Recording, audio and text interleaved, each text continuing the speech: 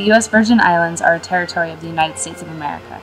They operate under the same No Child Left Behind Act as schools stateside must. A brief history of the islands can be summarized from the Economic Development Authority website. The Spanish eradicated the native inhabitants of the island. The Dutch later turned the island into a slave trading post and repopulated it with almost a quarter million slaves. The Virgin Islands schools are in need of help.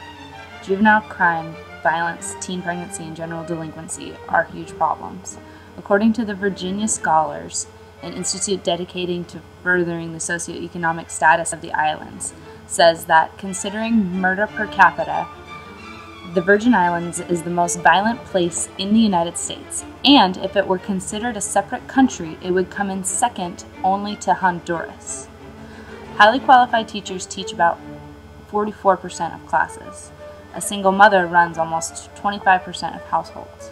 A language other than English is spoken in almost a third of homes. Languages include Spanish, French, and Creole versions of both. I was interested to see if improved access to early childhood education would affect the islands positively in regard to the long-term socio-economic health of the territory. The Virgin Islands face many of the problems that inner-city schools on the mainland face. I see the situation in the Virgin Islands with lots of hope.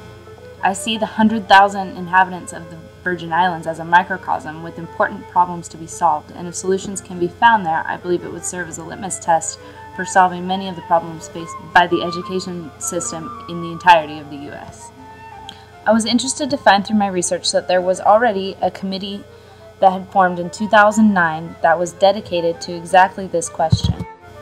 The committee's goal was to lay out some sort of framework for preschool education in the Virgin Islands since it's not standardized in the United States. They came up with an Early Childhood Advisory Committee. This committee provided the framework as well as the strategic report issued in July of 2012. The introductions to both documents state the body of research in fields of neuroscience, education, psychology, and economics informs us that the foundation for a productive society of the future is built on healthy early childhood development.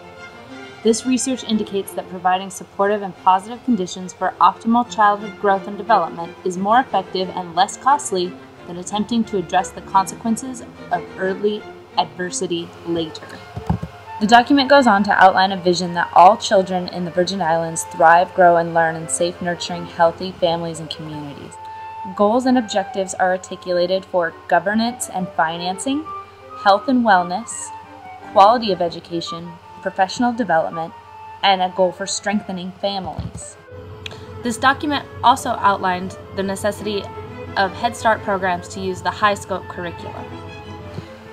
Over the last two years, this plan has been in effect from 2009 to 2011.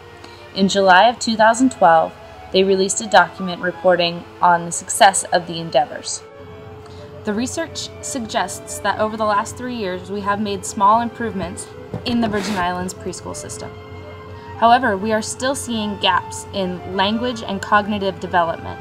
Pre writing skills have not shown significant improvement either. We have seen improvements in gross motor, fine motor, and personal slash social skills. These Head Start programs are also serving more children than they were three years ago.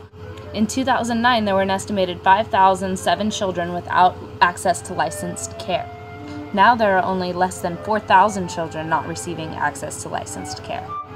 So, if we're serving more children and we have a comprehensive framework to build on, why aren't we seeing larger improvements from these children? As you can see from the document itself, Early Head Start employs no bachelor's degrees and only seven associate's degrees. The regular high scope Head Start program employs only three advanced degrees. Only 23 members of the staff have a bachelor's degree. Professional development is a big part of the framework that the Virgin Islands laid out, but it doesn't seem to be happening as fast as they need it to happen. The framework and the strategic report were both created with grant money, so I wanted to know if it was ultimately money keeping teachers out of these schools. I found an interesting news clip from April 10th, 2012. Joining us. on this edition of Newsroom, I'm Sandra Gamansing. The Department of Human Services testified before Senators Wednesday. DHS officials were invited to provide an update to the Health and Hospitals Committee on the status, upcoming plans, and existing challenges for all their programs. News 2's Erica Parsons has that story. Department of Human Services is one agency tasked with serving the needs of the community, and Wednesday senators acknowledged the tireless work entire staff undertakes to deliver those services. But federal and local budget cuts have severely hurt the department, and Wednesday's testimony from DHS officials showed that they're the ones in need. Human Services officials said they're losing almost $1 million because of sequestration cuts, and their Head Start programs are taking the hardest hit. Commissioner Chris Finch told senators that quality early childhood education helps reduce future social problems. Their Head Start program serves 3 to 5 year olds, but it's in high demand with a current enrollment of 894 territory wide and a waiting list of almost 800. Their child care subsidy program helps low income families, and nearly 500 children are served monthly. Several hundred are on a waiting list for that program. Both federally funded programs are being hit with a 5% sequester cut. Finch said budget cuts locally have been trending downward, and fiscal year 2014's numbers will be a little more than $9 million less than 2009's. Overall, um, in virtually every area of the department, we are working short staffed um, direct service management levels. It impacts certainly not having the staff, um, not being able to replace vehicles, which is a you know growing consideration um, in some cases.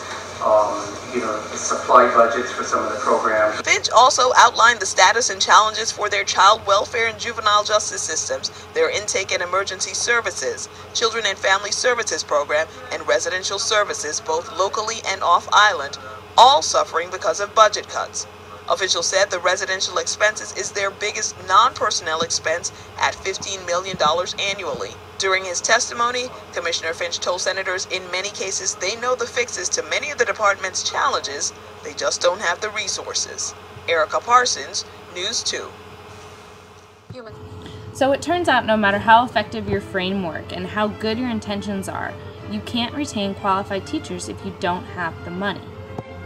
I find it disheartening that money often has the final say in these types of reforms. A challenge is presented in any classroom when the staff is underqualified, underknowledgeable, or underpaid. However, if you put teachers like us, soon to be highly qualified teachers, into these same classes, you would see improvement no matter what the framework dictated because we understand the concepts underlying any framework more thoroughly than someone with a high school diploma or an associate's degree. I think this is ultimately why we're seeing this worldwide push towards professionalism in the early childhood care industry.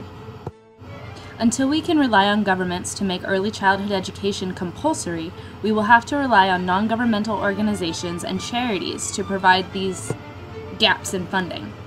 Universities can also play their part in this process by facilitating exchange programs with soon to be highly qualified teachers. All teachers also need to be strong advocates for government funding for these type of programs.